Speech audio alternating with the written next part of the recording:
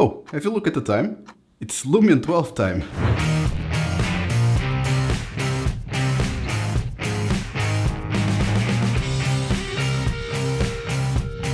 Hey, what's up guys? I'm Nuno Silva and in today's video I'll go through the best features of Lumion 12. And stick around because I'm going to let you know a little secret trick that works just on this Lumion 12 version. So let's get started.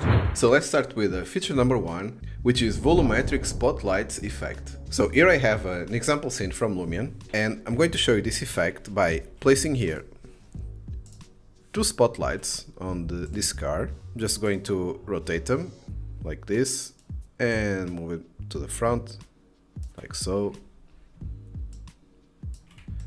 Just going to duplicate this light so we have two lights. Okay. I'm going to also decrease a little bit the brightness. And now if you go to the render and you click here the preview you see that nothing is happening. We don't see any effect because we need to go to add effect and we'll find a new one called here lighting and volumetric spotlights. So we click and still nothing happening because we need to select the lights. So when you select these both lights, now we can see this, this effect here. And you can control density, so you have more density or less, the intensity, and also the fall off. One note about this effect is that if you use together with the fog, uh, usually you'll have some uh, issues with the glass in Lumion. So the glass will not be affected by this uh, uh, volumetric light. Let me just render this image so you can see. So this is the effect and you can see how this can be beneficial for this type of scenes with a darker environment. And now if you select that light as well, so you can see how this starts to have a little bit more moody effect, okay? So you can even add to other things, be a little bit more creative. For example, let's select the same light and let's add it here. And we can give it a red color.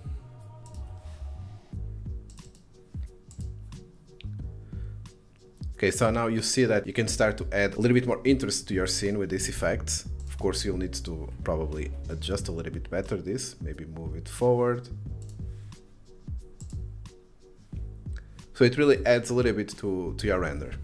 So feature number two is surface decals. Finally, we have some surface decals that you can add in Lumion. Even though they have about 60 to 70 surface decals, you cannot add your custom ones, but I'm expecting that they will probably open this to add your custom ones, maybe Lumion 12.3, similar to what they did with the displacement maps in version 10. Initially it was just for the materials that uh, Lumion shipped, but in version 10.3 they open up for, for you to add your custom displacements. So let's hope that they will do that in the next version. And let me just show you first how you can place them. So you'll find here effects, and now there's a new category called decals. So we click it and let me just put this bigger. Now we find other categories like uh, asphalt, we have chalk drawings, covers. So we can go here to asphalt and let me select this one, for example. And let's place it here. And let me just rotate a little bit this slide so it's easier to see. And now I can rotate, I can scale, and I can also control the transparency of this effect. The range is uh, how it will affect, so you can place it here and it's just affecting this part, but if I increase the range, it will start affecting the sidewalk as well. So let's move it back and maybe place it here again Okay, and then the orientation, of course, you can control here as well. And the show more, you have these uh, options here. You have the blend colors. You have the blend normals as well. And here on the color, you can st still try to adjust a little bit better the color with this uh, asphalt that you have here. So you can make it darker or lighter. And it, they also have here, if you go back, exposed brick that could work well and not actually some collection of dirt because this dirt usually starts to add up here on these areas. So if you add it here, you see, you can start to add a lot of them, even like this on uh, round surfaces. And uh, let's go back. You have this uh, exposed brick. So let's select, for example, this one.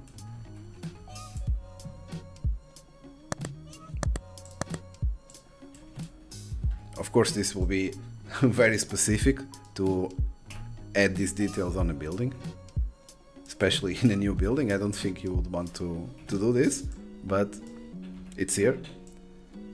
And I'm hoping to have more of a surface imperfections with this and not so much this type of decals. But as I said in the beginning, let's hope they'll open up this to add your own custom ones. And by the way, if you want to learn more about Lumion, I do have a course for that and I'll leave a link in the top right corner and also in the description below this video.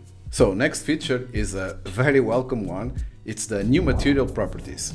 So now with the new material properties, if you select uh, any material, you'll see that now you don't have to add separately in Photoshop or any outside software in the alpha mask the gloss and or emissive mask so all of this now you can add directly into Lumion. So you can choose the color map, your normal map as before. You can choose the gloss map now, so you don't need to go to Photoshop to do this. Uh, the displacement and you can choose also the reflectivity map. But if you don't want to select the reflectivity, you can click here and uh, this way it will select an alpha mask. This is useful if you want to mask out some areas. You can select as well the emissive mask so you can click here. So this slot here works for the one that you select either the emissiveness the alpha or the reflectivity. So let's change this material here as an example. Now it's easier. Let's select that again.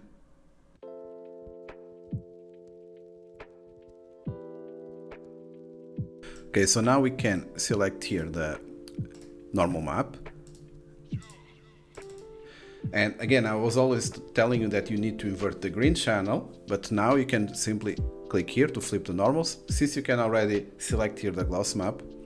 So as for the reflectivity, we can select the one and the gloss as well.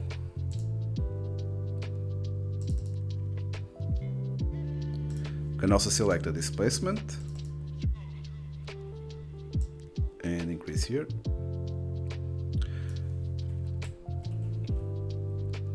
And so now we can see that all of this has the correct values.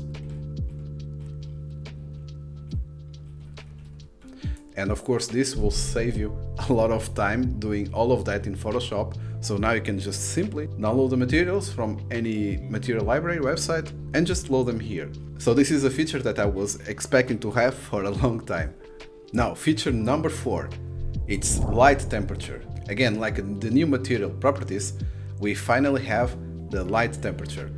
So before in Lumion, when you select uh, a light, let's just select one light here, you just add this color and with this color wheel, you can try to select a color temperature that you think it's the correct one, but that's not the ideal because ideally you have the temperature in Kelvin and this way it's when you buy your lights in a, in a store you will see that it says for example 3000 Kelvin 4000 Kelvin and when you have these values inside here, the software, then you know that you'll have a more accurate lighting color, okay?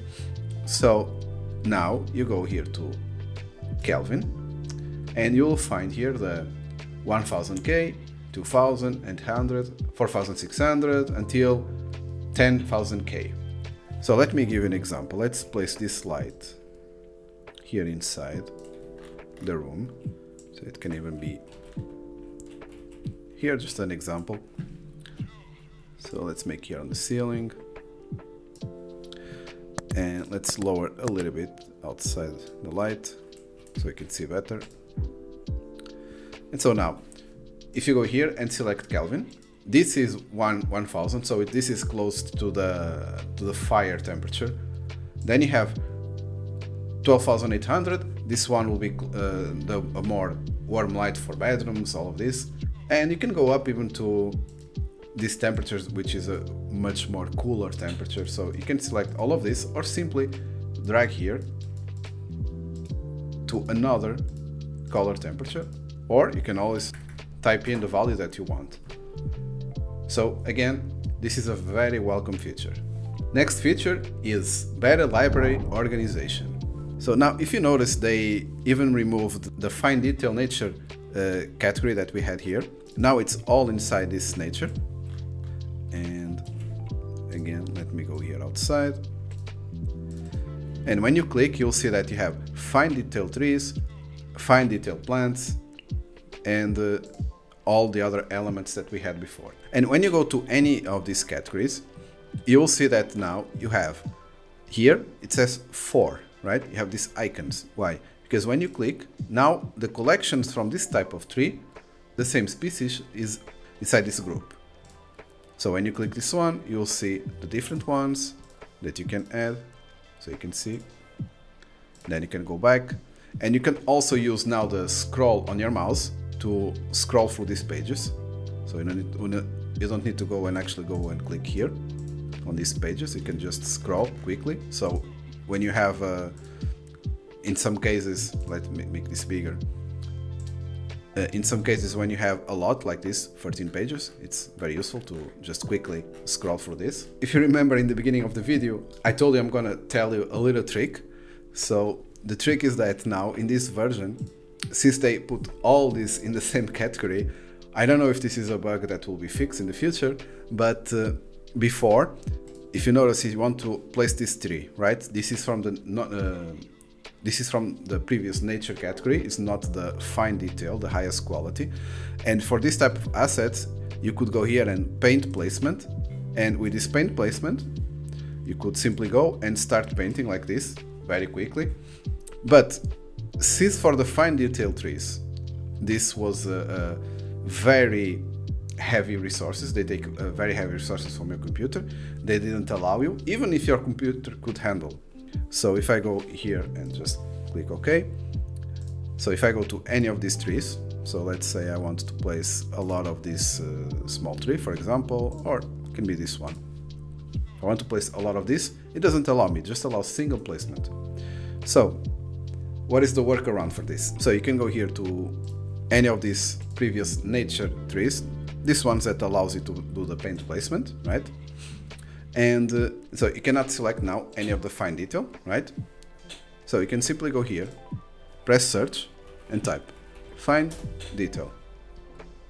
Okay, now I have here this fine detail. I can select and I can simply add them with this paint placement tool. As I said, this probably it's a bug. I don't know if it, they will keep it in future versions, but here you have it. You can use it for now. so feature number six is car license plates. So now in the cars, you can go here to select any car and you have your license plate. So you can select a different license plate like this from other country. They have these countries available. So if you are in America, you can select from these all these different states. Okay, you can select it. If you don't want this, you can go to let's say to France select this one and press OK. So I figured this was a request that many people asked and that's why they implemented this new feature. So the next feature is character billboard. So now you can add uh, here on the utilities, you can add character billboard and let's select this one. You can leave it like this or you can colorize with any different color or you can load your texture as well. And this can be useful. So if you want to create some signs, okay, it will be always looking uh, at the at the camera this time. but this can be useful if you want to make some callouts on your design. Now you can add with these uh, character billboards. The next feature is clip plane billboard. So if you go here now to utilities and you have the clip plane let me select here this clip plane and let me push a little bit higher like this. So before in Lumion, it was like this. You could see this, all of these open sections, right? Now you can select here outline and you can select the outline width, how much you want. So let's say something like this. You can select a different color. Okay. So let's select like maybe a dark green color. So you can select how much you want. So this is easier to visualize where this section is cutting, something like this. Okay, and this is for the clip plane outline. And feature number nine is new objects. So if you go to any category, let's say that I go to cars, and if I type here on the search, I type L12, which is Lumion 12, it will show me just the new cars from this version. So now I can have one truck like this, another van. So you can go to any section, let's go to objects and type in L12 and you will find all the models that are new. Okay. So according to Lumion, there are 570 new models in the Lumion 12 version. And let's speak about the next feature, which is new materials. So for this, if you go to their website, you can see that they added 65 new materials, which uh, includes from bricks, concrete, metal, some uh, assorted, which this assorted includes these acoustic foams, this uh, tactile paving, solar panels. So all of this you can explore in this uh, new version. And the last feature, it's the render effects. So if you go to photo, now you'll notice that when you go to add effect, it looks quite different than before. Now they categorize this a little bit different. So they have, for example, tools and utilities all in one section all the enhancements in another. Before they had like artistic one, artistic two, all of this and then advanced. So now they changed this a little bit, architectural. I think it, it will take a little bit of time now to get used to this new uh, organization, but maybe in the long run it will be better. I hope you enjoyed this video and don't forget to subscribe. And let me know in the comments what you think of this new Lumion version. And I'll see you in the next one.